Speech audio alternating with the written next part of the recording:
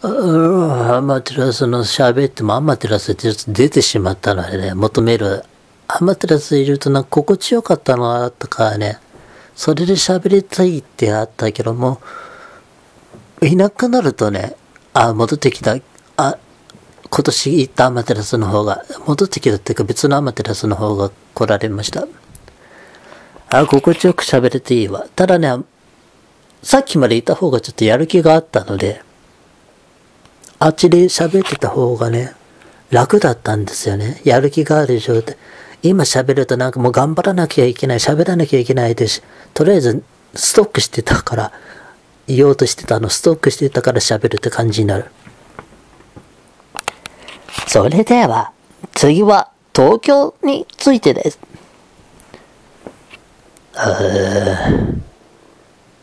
あの、混ざる、霊的背景が混ざる。今年の夏にあげた、えー、子供が生まれる生まれると子供の背景、向こうの背景も親に染まる、混ざるから、子供と親は同じ性格になるみたいなことを言いましたが、このね、混ざるが、友達とかね、仲良くなったり、恋人とかでも混ざるんですよね。で、そのぐらいだけでもなくてね、インターネット配信で生配信を見てると、配信者と混ざるんだって分かってね、もう私本当例がものすごくいっぱいいて、いや、数十人いるのは当たり前っていう状態で、数十人本当いるんですよ。数十人ずっといたんですよ。今はかなり減ってますけど、今はもうポツポツぐらいの、ポツポツぐらいの。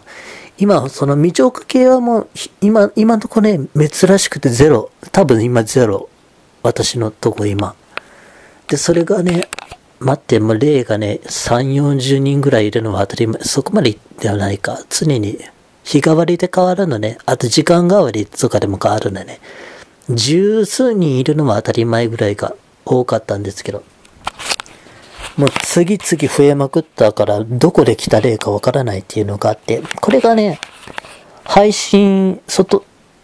インターネットの生配信する人を見ると、その人側のね、後ろにいる霊的背景が私に混ざるようになるんだなって、その霊的背景が何かっていうと、その霊が来るのもあるんですけど、それだけじゃなくて、えー、土地はその土地土地の神様がいて、神様、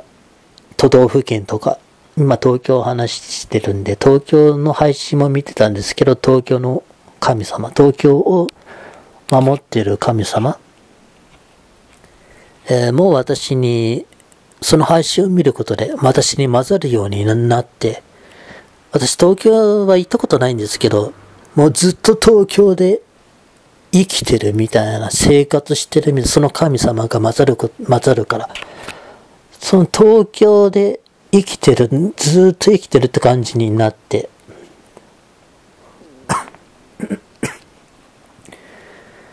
ただね、あのー、日本の神様も令和になることによって、平成までいた神様がね、令和の方にチェンジしてるんで、チェンジ、ね、そこら中チェンジしていったので、私に、あ今年ね、私に混ざってたのは、その令和になってからの神様の方だと思うんですね。東京を守ってる。で、これも、ちょっとまでも、その配信ももう見なくなったので、今は混ざってないですけど、先月、2ヶ月ぐらいまでね、混ざってた、1年、1年以上混ざってた頃の記憶から喋ると、東京をどんな風に思ってるかとかね。で、その、どこもその、どこも、えー、守ってる神様の心がそこに住んでる人は映るので、神様が楽しくないと思ってると生きてる人も楽しくないって思う。でね、東京はね、昔は良かったんですけどね、平成までは良かったんですよね。平成の、平成まで守ってた神様が楽しんでたんでしょうね。だから東京一番楽しいところだったと思うんですけど、令和になってね、その楽しくないになって、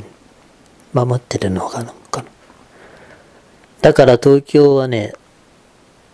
かなり上位、今のところ日本でかなり上位で楽しくない場所になってる。神様が楽しくないって思ってるから。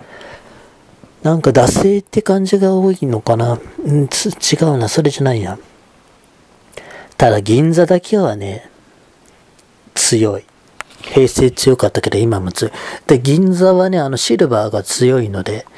シルバーのエネルギー、神様が強い。うん、なんだろう、銀座だけはね、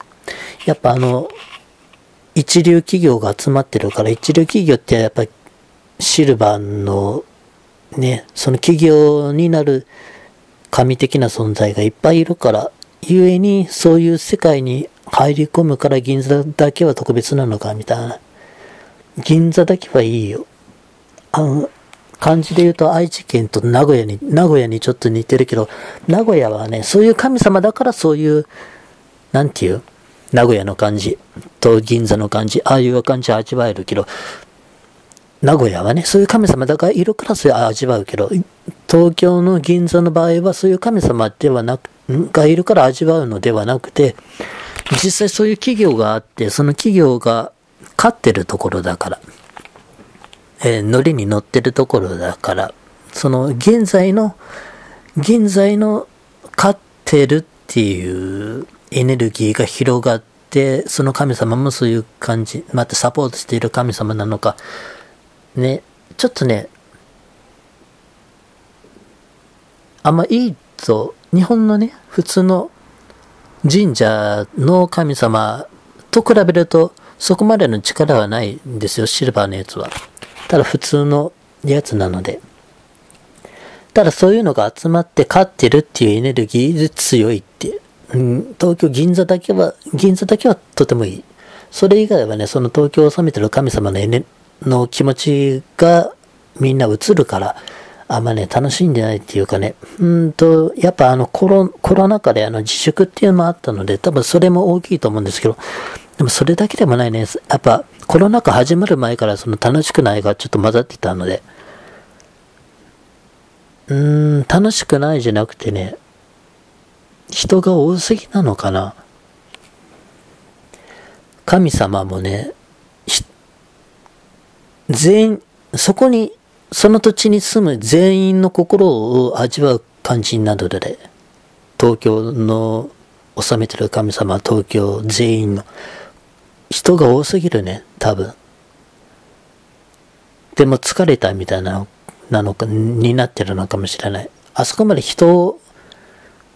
増えたのが原因かもしれないね。あの、今の時代のちょっといろんなブームが終わって、楽しいものが終わって、ちょっと前までインターネットがものすごい盛り上がってたけど、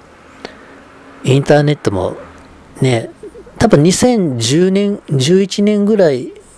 からもう面白くない感じに流れ変わってましたよね。私が一番楽しいと思ってたのは2005年ぐらいとか、2005年が一番ピーク、私の中では一番ピークなんですけど。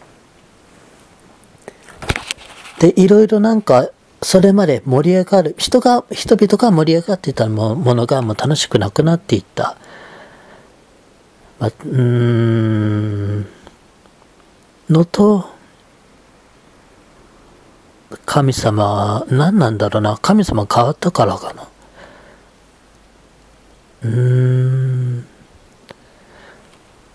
つまんないんですよね、東京はね。昔は私も東京に憧れてたんですけどね。楽しんでたから、神様がかな。だから東京さえ行けばその楽しいの映るから東京行きたいわ。でも今は行きたくないね。